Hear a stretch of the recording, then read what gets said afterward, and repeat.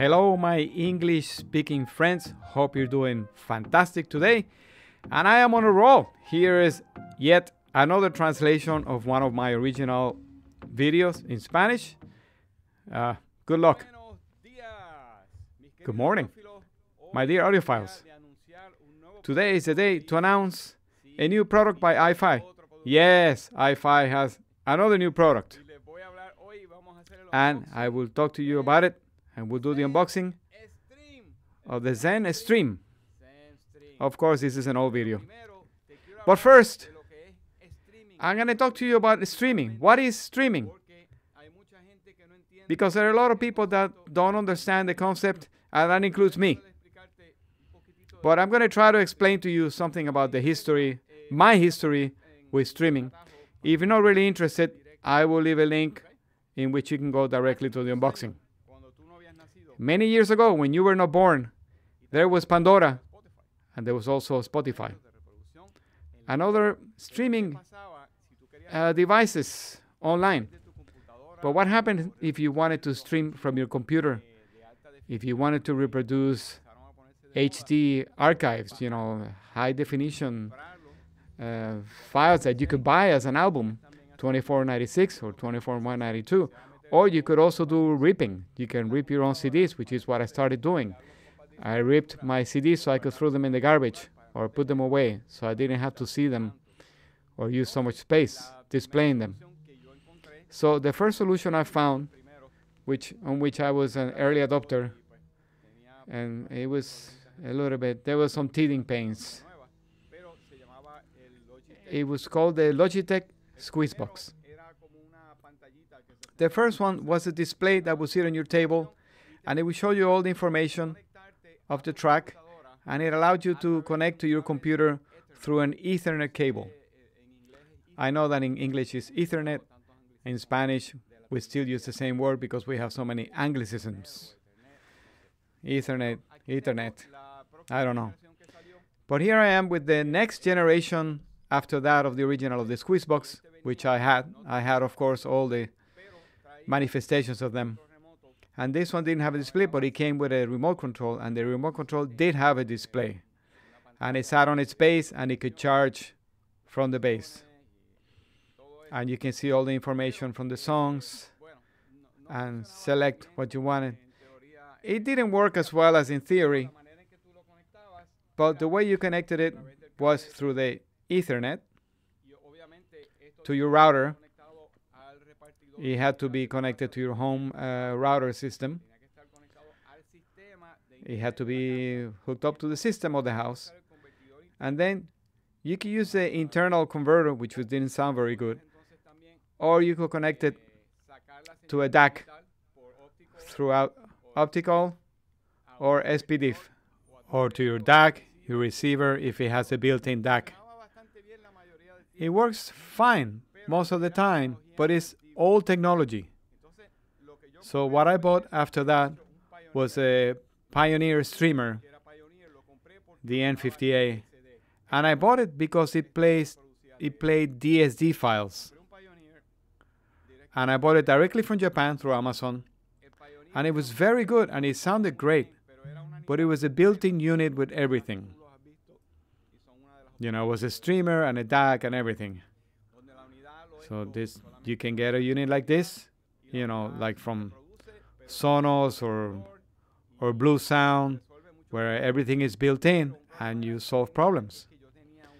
But the biggest problem I have was that I had a NAS, a double uh, hard drive, a network server.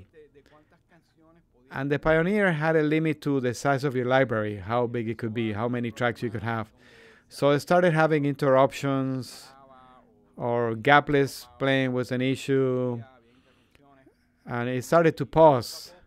And then I realized eventually that it had to do with the size of your library. So I bought something called the Sonic Transporter, which is an Intel i7 computer specifically made for Roon usage, to use R O O N, RUN, the program. It's a very sophisticated system where you can have the music on your hard drive, but it's also integrated with uh, services like Tidal and Qobuz. But what I like about Roon is the experience.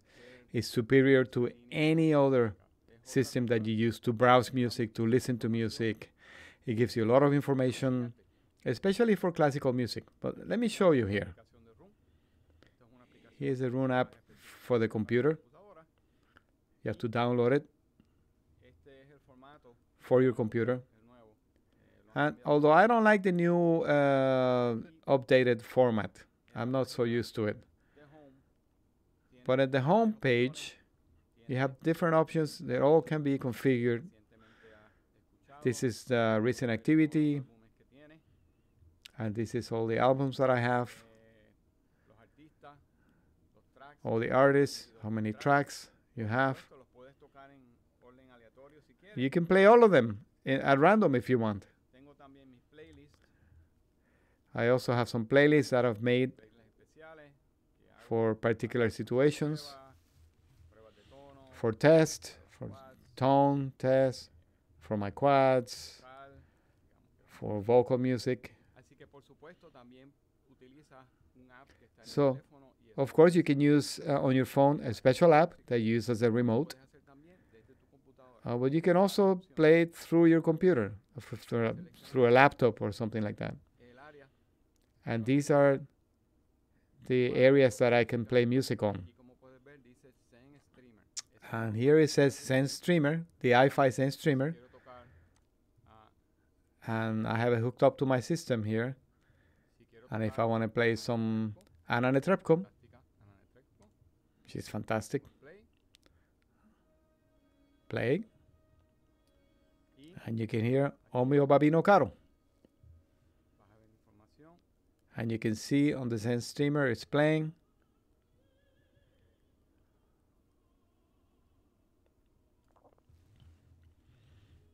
There's more information. You can see the quality that is being played on.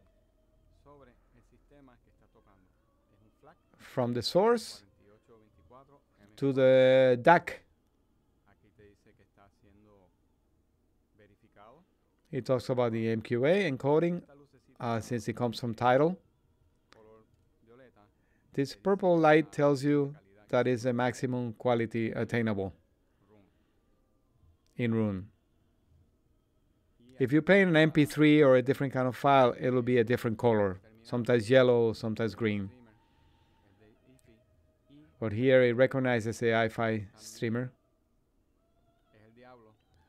And also I'm using the iFi Diablo converter, which is also by iFi. I'm a little bit distracted because I'm enjoying Anna Netrebko singing. Here you can uh, go to setup. You can make it a private zone so you cannot play from another place. This is how you can play DSD natively or DOP or PCM in case that you have a DAC that doesn't reproduce DSD. Also, you choose whether your DAC has MQA support or not. Because Roon does some of the unfolding in software for MQA. So even if you have a DAC that doesn't do MQA, uh, Roon will unfold some of the files for you halfway. But you get information about the composer, about the orchestra, the performers, the, con the conductor, Antonio Pappano. Let's just say that I like this record and I want to find out more from the Royal Philharmonic. You go here, and here you can see Uh, how many records the Royal Philharmonic has available in Roon and Qobuz, but also maybe in my hard drive. Or maybe if you, you like the conductor, you go to Antonio Pappano, discography, and ah, you can see. Let's say I want to hear Janine Jansen's playing Bartok. And I press play. And I watch the credits. Oh, this is Brahms, that's not the Bartok. And I can see more information about her and more records that she has recorded. So there's no end to this. You can continue to discover music, find new horizons of favorite musicians or bands. But also, you have here versions. You have the option of listening on Tidal because Roon integrates Tidal and Qobuz, in addition to having your hard drive music. So these are the two Tidal versions. You can listen with MQA or without MQA for those of you who hate MQA for some bizarre reason. Or also on Qobuz, you can hear 2496 or other resolutions. I look at this, it's interesting. Let's say we look at my library and you want to look at the famous eye in the sky. And when you go to versions, you can see that this means this is my version in the library, in my hard drive. So this is a copy I did from my DVD audio, 24192. But also, there's other versions on Tidal. Um, none of them are MQA. I guess Alan Parsons doesn't like MQA. And also on Qobuz. But if I add any of these albums to my library, they remain as if they were in my library, even though they might be residing on the cloud. So I have access to them as if they were in my hard drive.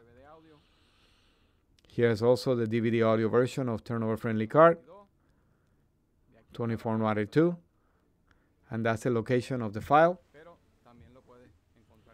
But also, you can find it on Tidal and Qobuz. So it's much more easier to find music and know where it is, whether it's in a real format in your hard drive, but that is also available in different uh, services online. When I installed Roon and I bought the computer, the computer only carries the software. So you need a streamer to connect it to the computer. Of course, you can buy streamers that come with a converter included, but there's an audio file version to do it. And that's to do it in three separate parts the computer, the streamer, and the DAC. And the first streamer that I got was the Sonore Micro Rendu. There was also at the time I could have gotten something called a Raspberry Pi, which is it's an appliance that's used for many applications in computers. But Sonore Micro Rendu is uh, is a Raspberry Pi that has been stripped of, of unnecessary parts to produce less noise. It consumes less power and produces less noise just for audio performance. So how does this work? You hook it up to your computer, to your Roon computer via Ethernet. Ethernet. Why? And here's the important thing. Because you have galvanic isolation. There's no electric connection between the streamer and the computer. So you're not leaking any noise from the computer to the streamer. I mean, computers are noisy. They, they have a lot of chips and things that produce noise, and they have fans. And but while you're connected through Ethernet, then you have galvanic isolation. It's very important when you're going to reproduce high definition files. And since that doesn't have a DAC, they also call it a network bridge, which is unifies the DAC to the computer. And it has a USB connection that you. Uh, I don't have the cable. I'm not prepared for this. Once this is connected, once this is connected to the computer, then all you have to do is connect it to the DAC via USB cable. Ah. So now that's why it's called a network bridge. It connects the computer and the DAC, and that's what reproduces the music. That's what puts the music in order. So recently, I bought uh, one called SOTM, made in Korea, and they're not supposed to really make a difference in sound because all they do is order the music in the right place and you know make the music play to the DAC. But I thought that the SOTM has more agility. It works faster. There's not so much delay. I seem to like it a lot with the SOTM uh, streamer. I think it works better with my uh, Roon computer. Although I also like the Sonore Micro Rendu very much. These units you can use them with Roon, but you can also use them with the DNLA, DLNA, or you can use it with Squeezebox format, or uh, a UPnP, Tidal. You don't have to use it with Roon only if you don't want to. But to me, Roon is the best. But here's the deal. iFi has now show, showed up with a new product, which has all of those things that I was talking about, but other things. It has Wi-Fi in addition to Ethernet. So you don't have to use an Ethernet cable anymore. It processes MQA. It processes all the formats. And on top of that, it's compatible with every possible uh, uh, protocols. So it works like a Roon endpoint because Roon uses a different uh, protocol. It's not DLNA, it's called RAAT.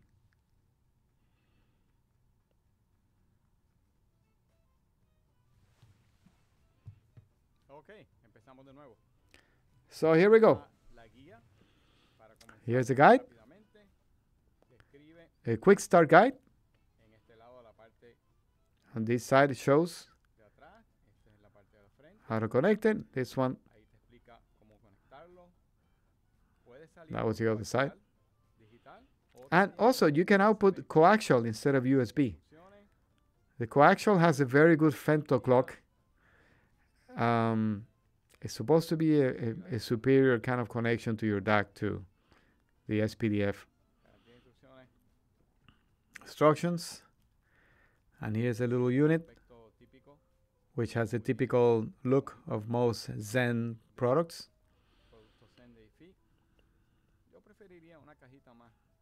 I would I would prefer a more classical looking box, but that's okay.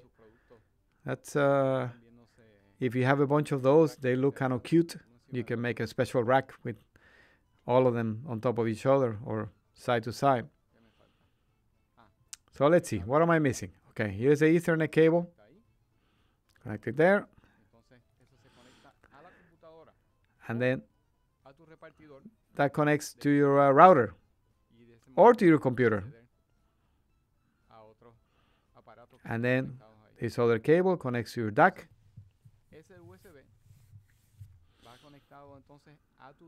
That's an audio, digital audio DAC connection. But the one on top, you can connect a hard drive to it directly if you want. And then that's the SPDF digital for a DAC or a receiver that has a DAC.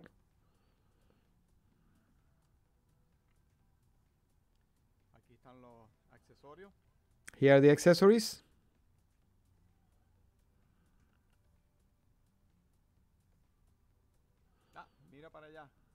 Wow, look at that. It comes with a blue Ethernet cable. Nice. They usually give you that color. Interesting. What else? The power supply. iFi branded.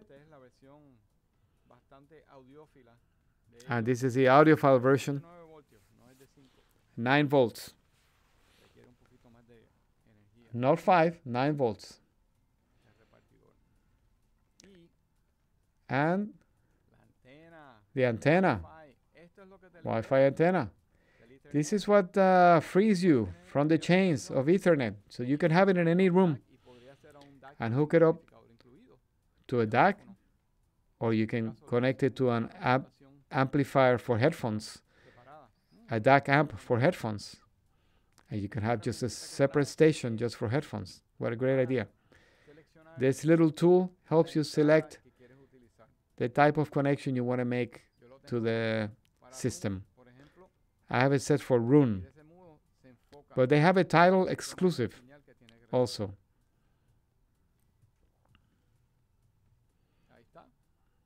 There it is. Ah, very nice. What is the advantage of the Zen Stream.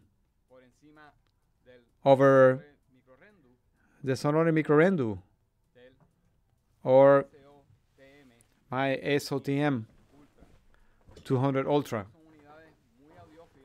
These are very audiophile units and very estimated and very appreciated by audiophiles.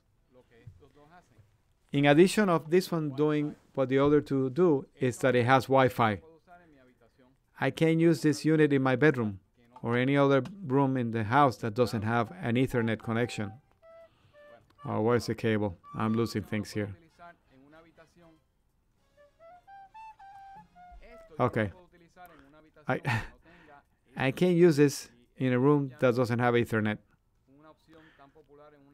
Ethernet is not such a popular thing in houses anymore because everybody has Wi-Fi. And I can't use that one on Wi-Fi either. So that one stays in my reference room.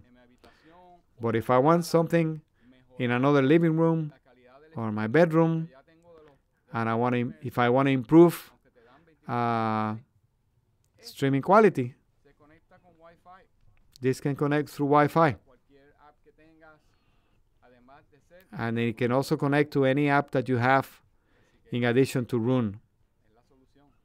So this one can be a solution. And it also costs half of the price of the other two.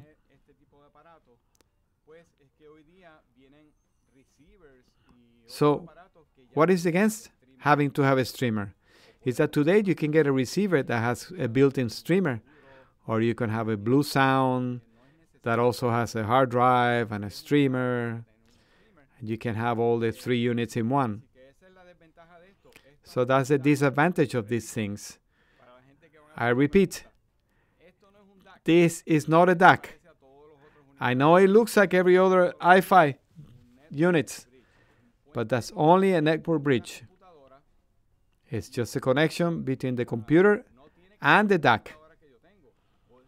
It doesn't have the computer I have. You can hook it up to any computer. It could be a laptop or an Intel NUC or a Mac Mini, and you can install the Roon software on it. But you know, it's well made, like every iFi product. It has an incredible number of options, and it costs half of the price or less.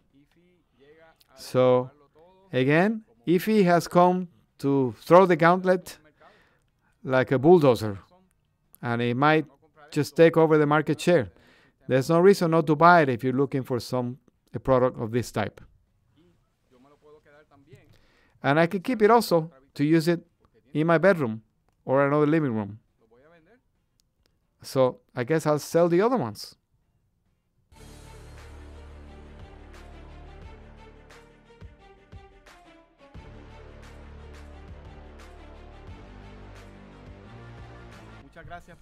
Thanks for watching this video and please leave a request in the comments for another of my Spanish videos that you want me to translate. Okay? Thanks so much. Consider joining Patreon if you want to help us out and join our chat on Telegram.